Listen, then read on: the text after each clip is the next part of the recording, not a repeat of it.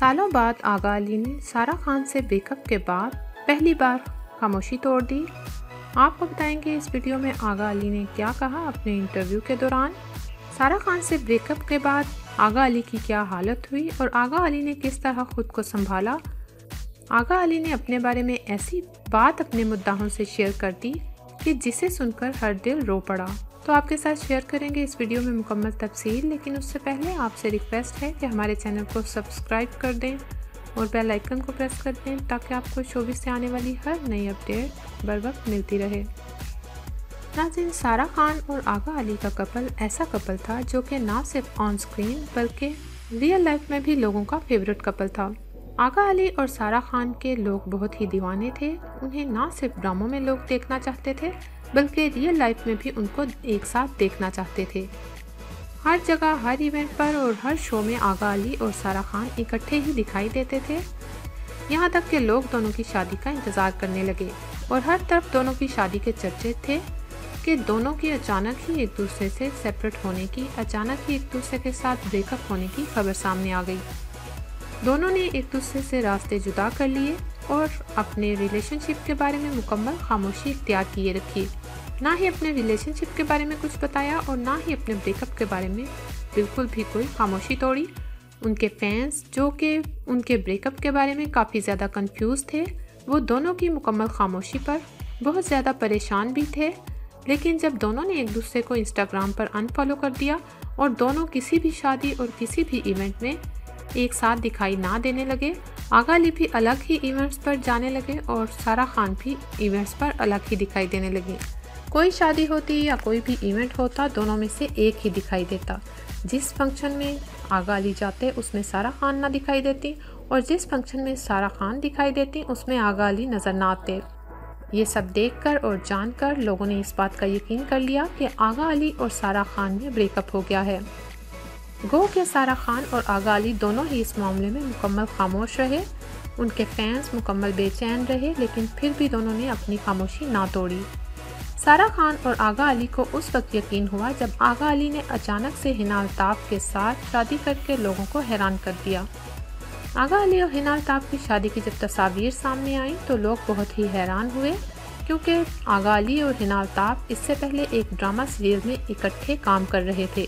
दिले गुमशुदा drama serial में दोनों ने इकट्ठे काम किया और इसी दौरान दोनों की अंडरस्टैंडिंग हुई और दोनों ने खामोशी से लॉकडाउन के दौरान शादी कर ली। दोनों की शादी की खबर सुनने की देर थी कि लोग बहुत ही ज़्यादा बेचैन हो गए। स्पेशली आगा अली और सारा खान के फैंस तो बहुत ही बेचैन हुए। पहले पहल तो आगा अली और हिना अल्ताफ़ के रिलेशनशिप को लोगों ने एक्सेप्ट ना किया, लेकिन फिर आगा अली और हिना अल्ताफ़ के एक साथ वीडियोस और तस्वीर देखकर लोगों को उनकी शादी का यकीन होने लगा और लोगों ने इस कपल को एक्सेप्ट करना शुरू कर दिया। लॉकडाउन के दौरान ही एकदम से सारा खान ने भी शादी कर ली और लोगों को सरप्राइज़ दे दिया। सारा खान ने फलक शबीर से शादी की और दोनों के कपल को ही बहुत ज़्यादा पजीराई मिली। लोगों ने इस कपल को बहुत ही ज़्यादा पसंद किया और सारा खान के लिए फलक शबीर को बेस्ट हस्बैंड करार दे दिया।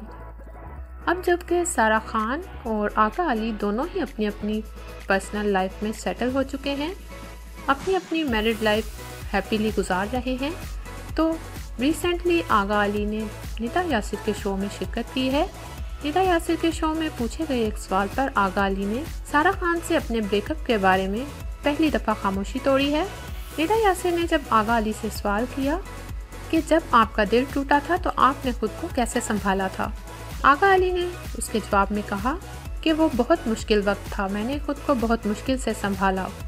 आगा अली ने कहा कि मैं बहुत इमोशनल हो गया था, मैं सैड गाने सुनता था कुछ अरसे तक मैं इसी फ़ेज़ में रहा, लेकिन फिर एक वक्त आया कि मैंने खुद को इस फ़ेज़ से निकाल लिया।